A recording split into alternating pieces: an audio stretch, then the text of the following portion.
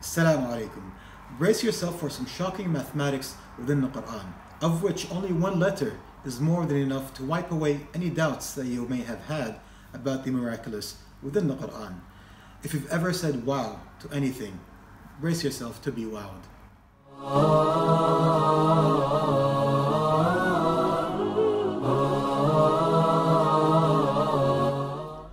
The 27th chapter in the Quran is titled The Ants, in Arabic An-Naml, and at first we only suspect, due to previous observations, that the chapter number is either the key or connected to the key that would unlock its mathematic secrets.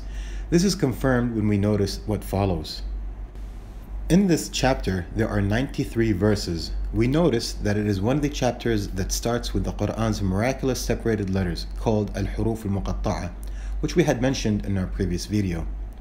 Out of those unique separated letters, this chapter starts with the two letters Ta, Sin. Amazingly, the first of these two unique letters, which is Ta, appears throughout the chapter 27 times, which is the number of the chapter. So, we count the number of times the second of the unique letters appears in the chapter, and amazingly, this letter, Sin, appeared 93 times, which is the number of verses in the chapter. If we were to stop here and let people truly think about this, this would be enough for serious thinkers.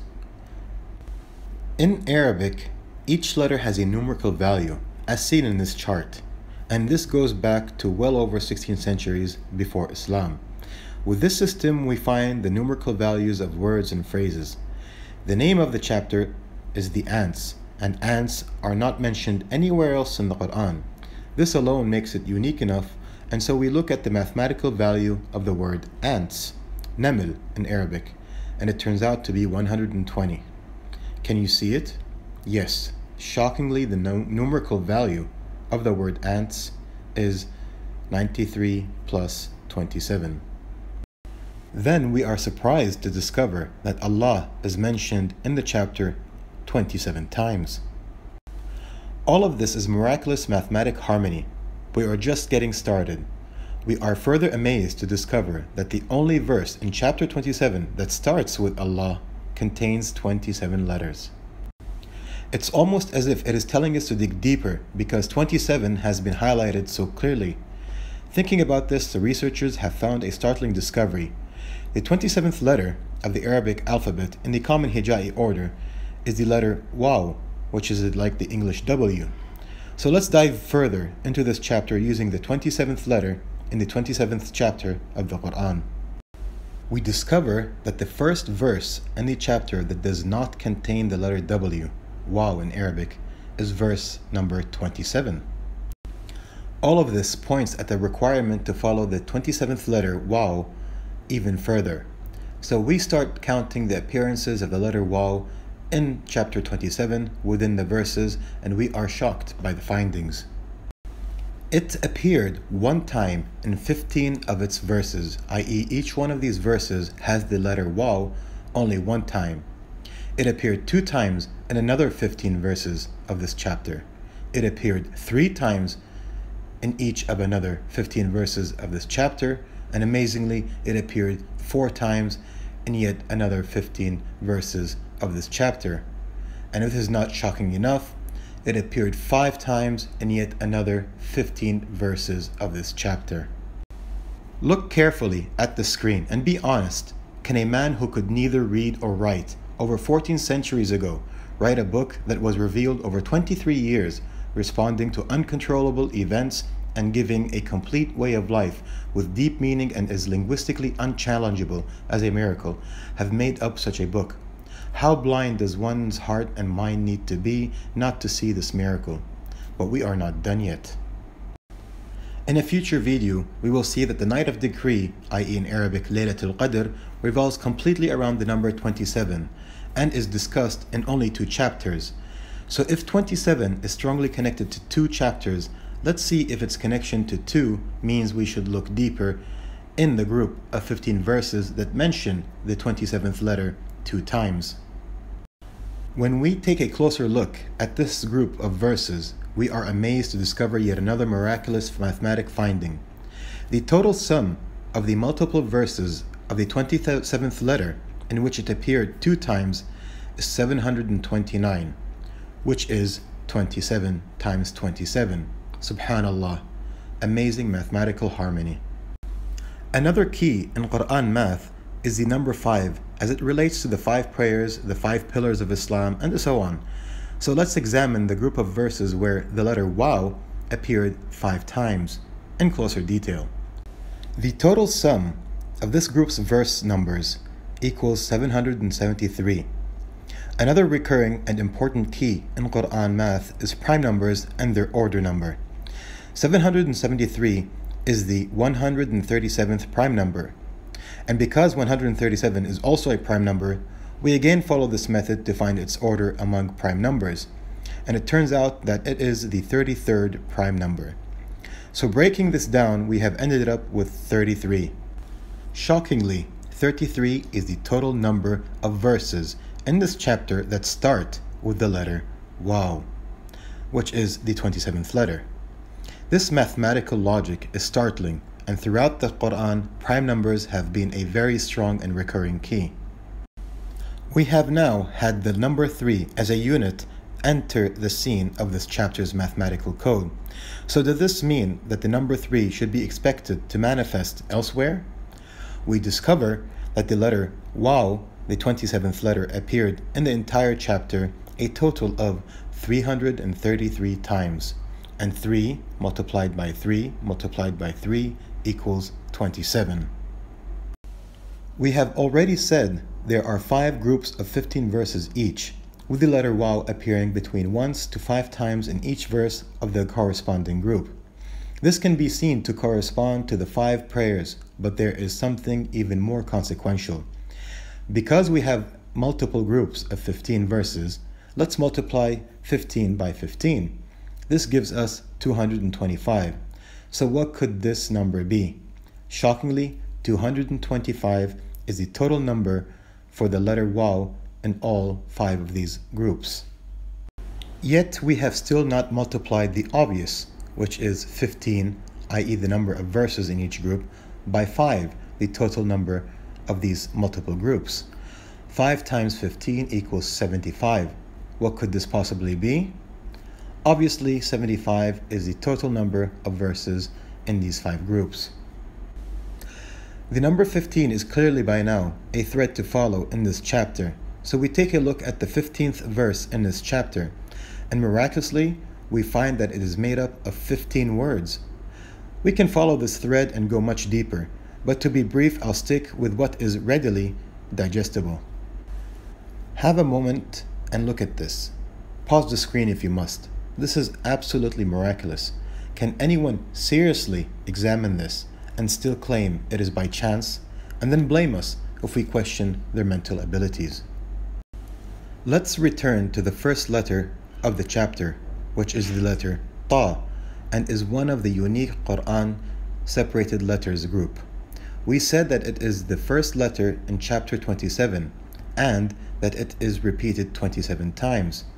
So it is clearly being highlighted, which means we should dig deeper. Ta is the 16th letter in the common Hijai alphabetic order. And miraculously, the number of verses in which this letter appears only once within this chapter is 16 verses. And here they are. The shocking, miraculous mathematical harmony continues.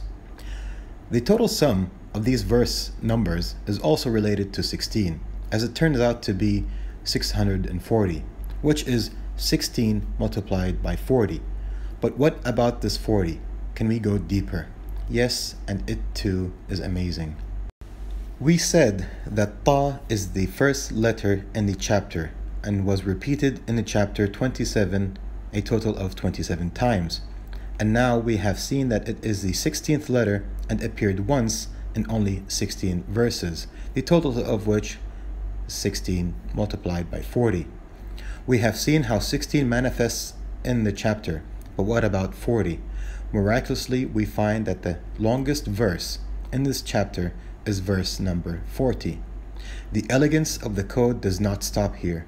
We also find that the shortest verse which is the second verse, has a total of 16 letters.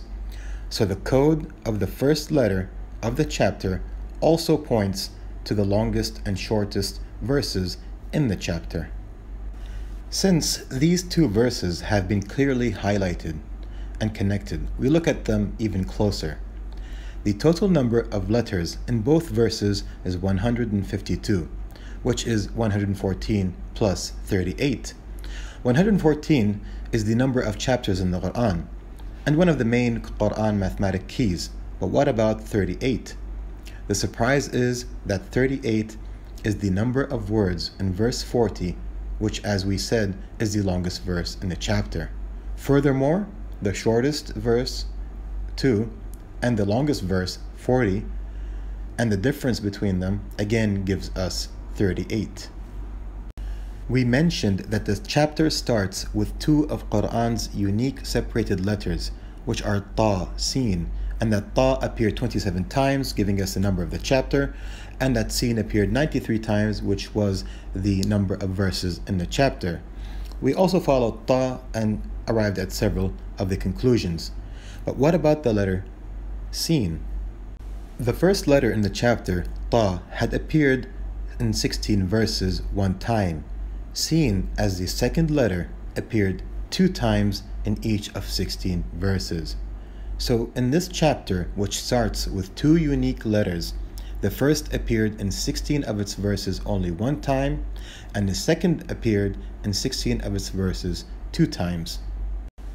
In this group, the total sum of the verse numbers equals 636, which equals 12 multiplied by 53.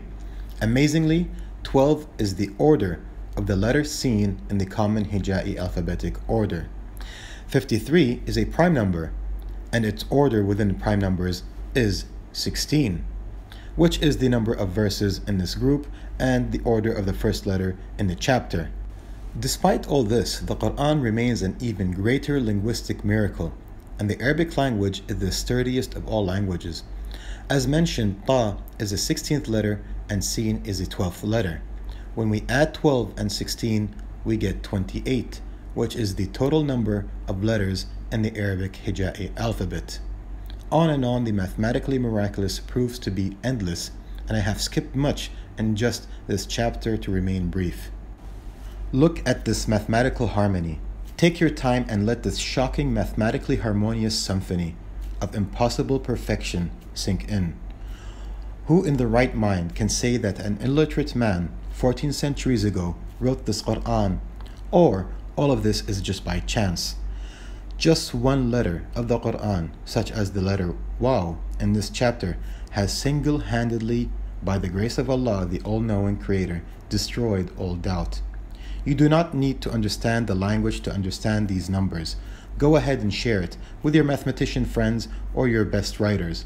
Then remember that if a single letter in the Quran was added or went missing, not only would the entire code fall apart, but linguistically it would have been criticized by everyone in the age of, and people it descended upon. They were the masters of language and a single mispronunciation of one letter would fall heavily on their ears, and the individual would be ridiculed by even children due to how seriously they took language. Juggling wor- words around to establish even the most elementary mathematic correlations would have been impossible to even the most eloquent amongst them. So, how could an illiterate man who did not even know how to write a single word do this? In conclusion, we turn to the Quran, chapter 6, verse 33. After years of severe oppression and persecution against the Muslims and especially the Prophet Muhammad والسلام, he was not angry. Instead, he actually felt sad that they have not believed in the message that will take them to paradise, and Allah comforted him by telling him in this verse We know that you are saddened by what they say, and indeed they do not call you untruthful, but it is the signs of Allah that the wrongdoers reject. No one can deny these numbers, yet it is not the sign that is untruthful. It is that the wrongdoers willingly reject them. Let me know what you think in the comments and whether you prefer shorter videos. And as always, if you've liked this video, do give it a thumbs up share, subscribe, and until next time, Assalamu alaikum.